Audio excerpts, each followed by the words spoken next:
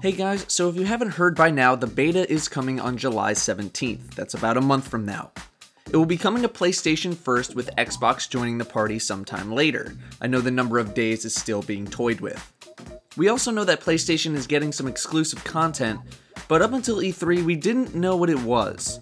However, today, PlayStation Blog announced what those exclusives are.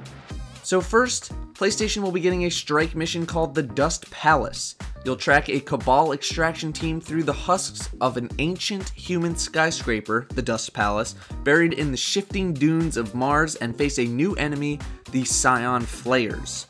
PlayStation will also have access to the Exodus Blue, which is a competitive multiplayer map. It is a medium-sized map for game modes like Control. Each class will also receive a set of armor. For the Warlock class, the Manifold Seeker armor, for the Titan, Van Meter armor, and for the Hunter, Argus armor.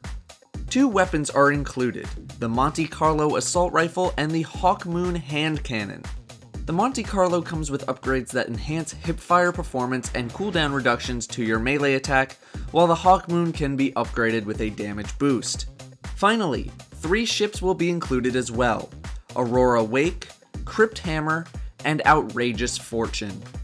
As for the topic of it being truly exclusive or just a timed exclusive, this image found on the PlayStation Store says that the content is a timed exclusive.